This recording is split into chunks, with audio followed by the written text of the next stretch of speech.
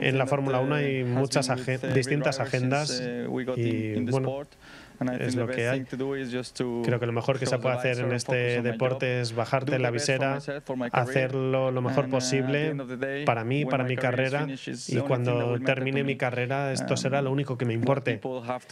Lo que la gente tenga que decir o no Aprecio que todo el mundo pueda tener su propia opinión, pero estamos aquí para hacerlo lo mejor posible para nuestra carrera y estoy contento con lo que he conseguido.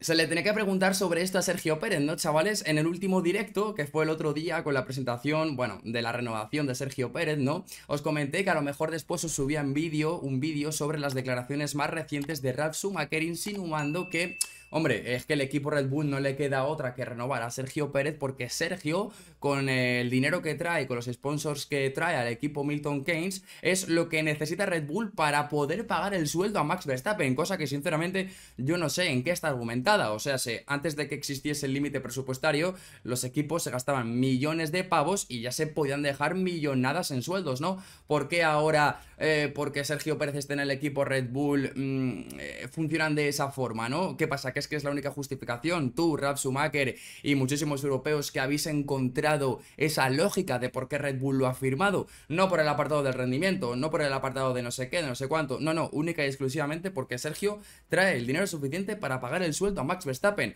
Pues la cara de Sergio la estáis viendo, aunque la estáis viendo a cámara lenta, literalmente que con esa cara de mierda ha respondido Sergio Pérez, ¿no? Eso sí, no ha sido un no rotundo, que es lo que yo esperaba escuchar. No, no, no se ha quedado Sergio Pérez escuchando la pregunta y ha dicho, no, no, no, no, ni de coña, no sé qué, no sé cuánto. No, ha intentado explicarlo, bueno, lo que acabáis de escuchar, ¿no? Al principio del vídeo, que sí, que la agenda es muy grande, que sí, que la peña le gusta hablar, pero que al final yo estoy aquí para realizar mi trabajo y para, bueno, que cuando me retire de la carrera, bueno, de la carrera, cuando me retire de la Fórmula 1, ¿no? Cuando deje su carrera deportiva, quiero decir que él quiere sentirse totalmente orgulloso, ¿no? No es un no rotundo, no lo desmiente de forma rotunda, tampoco lo afirma, evidentemente, deja esa puerta ahí medio abierta, ¿no? Pero sinceramente, chavales, es que yo sobre todo mm, me agarro a eso, ¿eh? O sea, hace seis años cuando no existía el límite presupuestario, Red Bull tenía un presupuesto anual, si no me equivoco, de 350, casi 400 millones y se podía pagar absolutamente todo.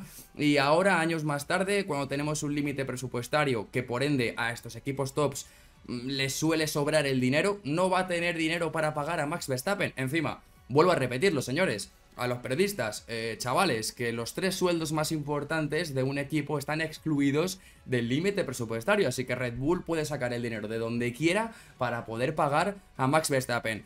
Que al equipo Red Bull le interesa todo lo que genera Sergio Pérez por detrás y todo lo que vende y todo lo que mueve y la gran masa que tiene, pues también eso es cierto, chicos. Uno te da una cosa, el otro te da la otra. Pero eso no significa que Max Verstappen no tenga una fanbase fuerte, ni tampoco eso significa que Sergio Pérez no sepa conducir y que solamente porque paga dique que el sueldo a Max Verstappen es por lo que lo han renovado. No, hombre, no.